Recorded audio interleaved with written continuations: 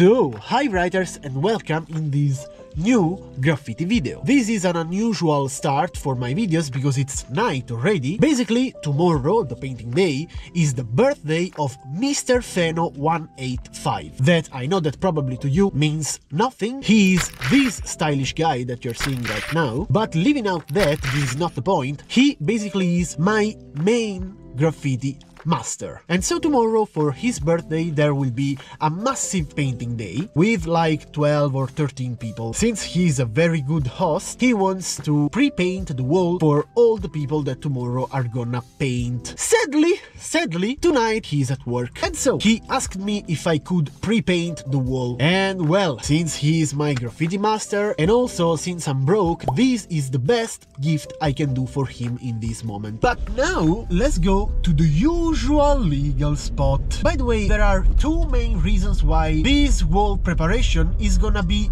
very funny for you and a little embarrassing for me. Here we are, the usual legal spot at night. So first of all, let's be, even if you cannot see it, so it's less funny. The first reason why it's gonna be funny for you is because if I put the light away, you see nothing. I see a little bit better than the camera, but still, in one hour it's gonna be completely dark and I will be completely fucked. The second reason why this thing is funny for you and embarrassing for me is because at night people is used to come here with the car since this is a very far from the society and lights place are used to come here and produce some love sounds and liquids aka people come here with their cars too far for now there is nobody so tomorrow there will be like 13 people and each space has to be made by four sections of the wall. This is a section. However, I just did my math and I will have to paint 54.5 sections. One writer will get two and a half sections because he will make a character, not a graffiti piece. And since I don't want to get hit by people that are looking forward to spread some love, I will wear this shiny stuff. You know, there are those writers that go in the yards uh, with this sheet, and then there is Mr. Vent that is wearing this for avoiding being hit by horny people. Fantastic! My gloves are completely wet because I put them next to a not dry roller in my bag. Nice! As bucket paint lover is such a pleasure to work with that high quality bucket paint. However, I took the not diluted paint, I added water, I mixed it very well and I tried it out. So it should be covering nicely. Okay, it's covering pretty well. So, first of all, thanks a lot to Mr. Vent from the past for the perfectly straight camera angle. However, I have to say that the first meters weren't as exhausting as I expected, but still, this was pretty difficult because I barely was seeing something. So far, so hard. So good. I am tired, but not as much as I expected. This one is the section number 21. I am almost halfway in. Let me tell you a fun fact. The most of the light here is provided by these two lamps, which are not public. They are located inside the sports center that's facing the main wall. That's why I have a little bit of light. Now let's play a game. Do you know what happens to sports centers at night? Well, they close. Wait, you can't see shit. I am at more than 31 sections painted, but sad news, as you can not see, because you can't see as well as me, the structure behind this wall here probably Porca madonna. Probably uh, the evening shift is finished and so they turned off the lights. So now I don't see shit. Because in this road there is a system of public lights, but it doesn't work. So, as you can see, dear writer, 54.5 sections of the wall are gonna be completed right now. Well, at the end I didn't manage to finish alone, I needed some light, basically because the paint that I'm using is black and since it's the darkest color that you can have, I was not seeing anything anymore. If I was using a lighter color, probably it would have been much better, because using the black, which is dark already, and also I didn't have any light anymore, well, I wasn't able to understand if I was leaving some empty spaces on the wall or something. A big thanks goes to my brother that's also handling the camera right now, so he's been my camera operator and my director of photography. Okay, I painted even one more block than 54 and a half. See you tomorrow. So, dear riders, I am at the wall, the sun is shining, but there is the fog there. It's like Silent Hill. I have never seen something like that at this wall. I hope this is not a toxic fog. If you are seeing this video, probably it's not. Okay, so I am the first here because I have to write the names of the guests. By the way, guys, I've really never seen something like that here before. Behind the wall there is a lot of soil, so it, I, I think that's normal. Or maybe my most realistic theory is that yesterday has been produced too much love, and since there was humidity, now it is still in the air. Probably the toxic fog is already affecting my brain functionality. Let's paint that's better. Also because today I will have to leave the wall at 3 pm because today is not only the birthday of my friend and graffiti master Mr. Feno but also the birthday of the father of my girlfriend. So I will leave this birthday party and wall at 3 pm and I will join the other party at I don't know 4 I guess pm. However, it's time to start. As always, I start my sketch doing a big tag on the wall with the shapes of the letters I'm gonna sketch, in order to get correctly the proportions of the letters and also the placing. I do this to avoid sketching and resketching many times the letters themselves, which is way more difficult and annoying than a big tag. As always, I have to push everything towards the right.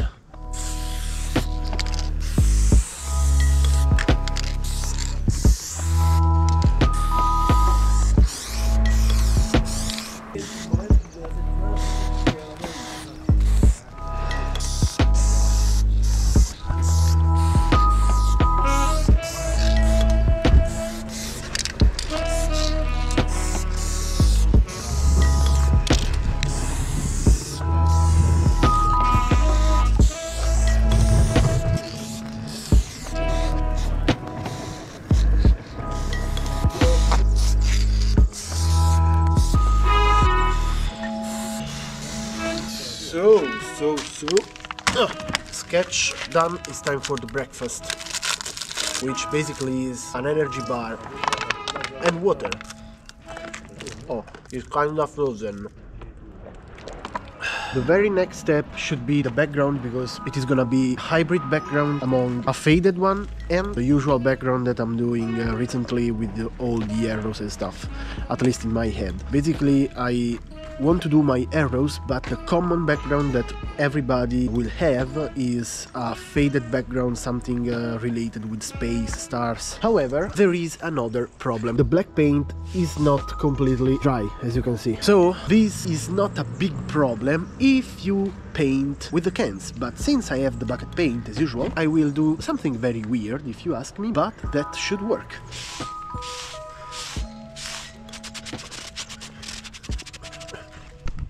Eh, it's gonna be long.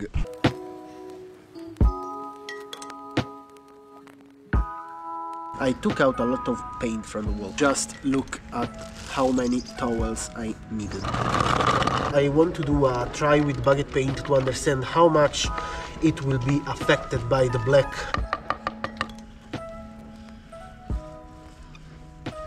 Not as much as I expected, at least that's how it seems. I diluted it just a bit because I don't want it to be too much watery, otherwise it will do a mess with the black of the wall. In this case, to keep the bucket paint a little bit less liquid than it should be, should be a good thing.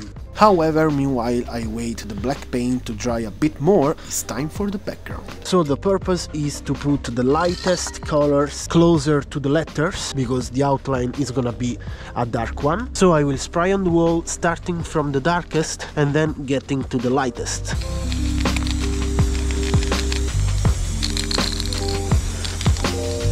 I have to say that it all looks very professional, all the color planning and stuff, but Trust me, Mr. Vent from the past doesn't really know what he's doing with this background. The overstyle risk is behind the corner with all these faded colors. Azza, augurio! Ti è piaciuto regalo? Grazie. Eh. That handsome camouflage guy is Mr. Feno that was the last to arrive at his birthday wall. Seems fair enough to me.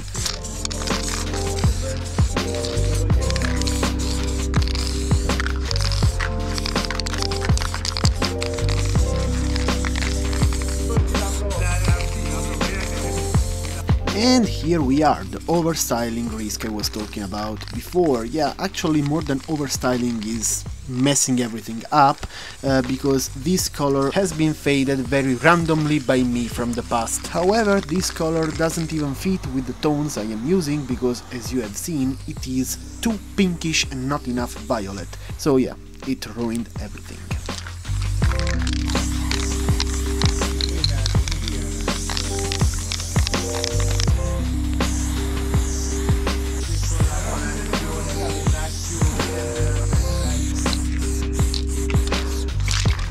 As you can slightly see on the right here, I added a clean outline to my background in order to make the arrow pop a little bit more from the chaotic fadings. I don't know why I don't have any footage of that, I was pretty sure I filmed something, but yeah, that's my pro YouTuber life. So I finished the first coat of bucket paint. That will never get dry because in this period of the year the wall during the day doesn't get sunlight directly so I will wait until it's dry enough to do the second layer of bucket paint. Basically the problem is that even if I dried the wall taking off the black as you can see the coat of bucket paint is not uniform because in some parts the black and my green mixed. So uh, I just have to to wait, I cannot do anything else. So, as you can see, off camera I've done the second coat of paint, which is not actually super dry, but is dry. Thanks God there are no clouds, and so the temperature is increasing and the paint is kinda drying. However, it's time for the outline. By the way, it's been two hours since the last clip I recorded, so I waited two hours the paint to dry. Let's do it!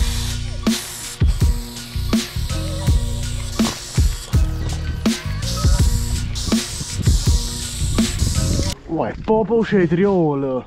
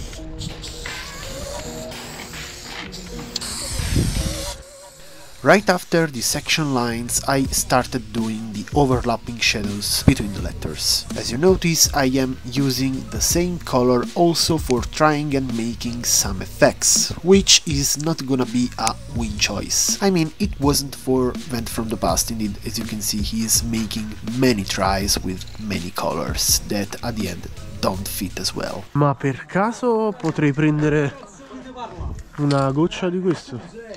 Well, I also asked for another green to the guy that was painting next to me, big up to Cuomo, but at the end, as you can see, I erased everything and I will leave it like this because, yeah, in my opinion it's better to have a piece without effects that maybe looks a little empty than making a piece with effects that don't really fit.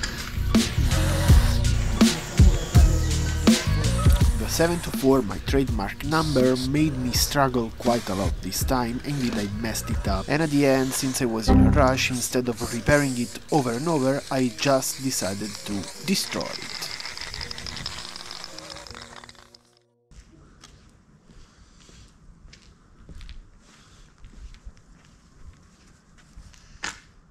Hi writers! This is the day after the big party. Indeed, there is no one at the wall. However, I finished my piece, so you are probably wondering why I am here today. Well, I am a toy. Yesterday at the end I finished in a hurry and I forgot a shadow. Apparently I am not the only one who has to finish his piece. Mr. Bulbe here has to finish his piece. But the most important thing is not Mr. Bulbe himself, but his nice little chair, which is perfect for an old man like me with a knee that doesn't work really well. A dog pooped right in front of Bulbe's spot. Ah, the shit that we do to paint graffiti, but most of all the shit that we clean up to do graffiti.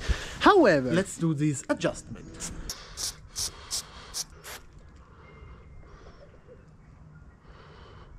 Fuck. It's time for you for the final result reveal and at the end I will show you all the writers in this wonderful painting day. So watch till the end.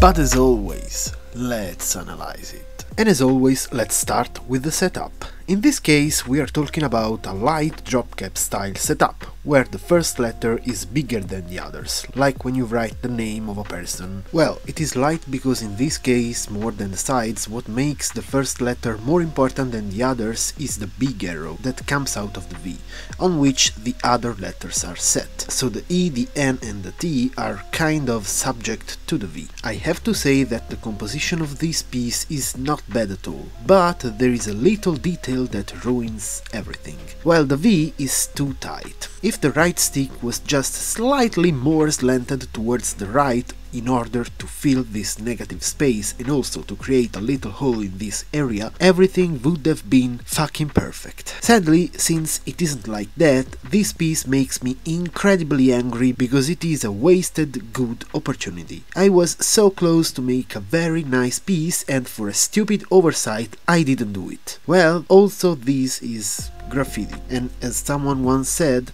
experience is the best teacher. However, talking about the letters, I am very satisfied about the N and the T. They are just as standard, I have to say, as beautiful. I am also very happy especially about this exclamation point which is basically coming out of the T. It is an original solution that doesn't compromise the balancing and readability of the T, which is something that looks easy but that's actually difficult to achieve. The E is okay, it is a bit too compressed and I would have preferred this horizontal stick to be a bit longer to balance this out. Well, the V. Leaving out what I already said about the right stick, the letter in general is okay. I like the way I worked with this extension. I flipped it. Usually I make this one attaching it to the letter at the bottom, as you are seeing. The solution I used now also works, which is nice because that means that it is very versatile. Then, the background isn't as bad as it looked to me during the process, but still, the fadings are a bit random and there isn't enough contrast between the fill-in of the clean background and its outline. Besides that, the color scheme is as basic as eye-catchy and so nice. That means I've done a good job about that during the preparation. Good one Vent from the remote past. And last but not least, what elevated the whole piece look is the yellow overline. It is crazy how it always is a sure shot. However guys, I hope you like the video and I hope you like the piece. If you do, leave a like and a comment to share your opinion with me would be really appreciated. However, subscribe to the channel and I will see you, I guess, in two weeks. If you want to keep in touch with me daily, just follow me on Instagram, link in the description. And see you next time.